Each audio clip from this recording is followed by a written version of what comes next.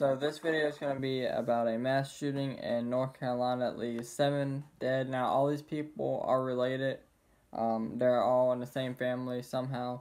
Now, it happened late Sunday in the Moncure area of Chatham County, which is about 30 miles south of Raleigh.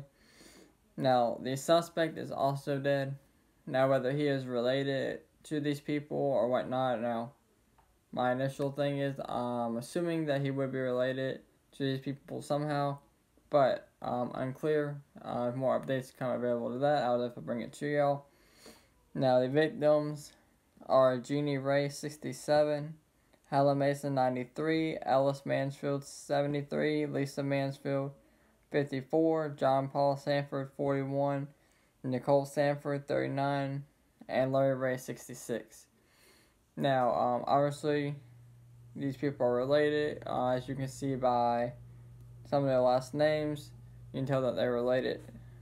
Now, with that being said, um, not much information is being given on this, but I will definitely bring more information as it becomes available. So until then, um, you know, definitely keep everybody there and your thoughts and prayers. And like I said, more updates come available. I'll definitely bring it to y'all.